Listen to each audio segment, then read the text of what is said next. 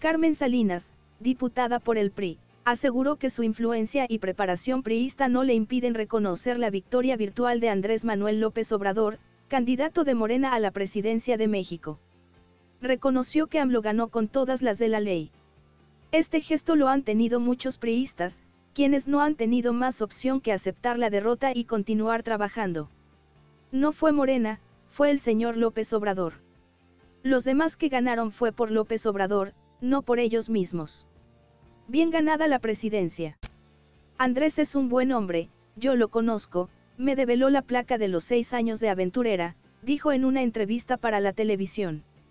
También aseguro que ahora el partido y la gente tienen un trabajo mucho más grande. Lo importante será calmar las aguas, disciplinarse y respetar las preferencias o trabajo político de otras personas.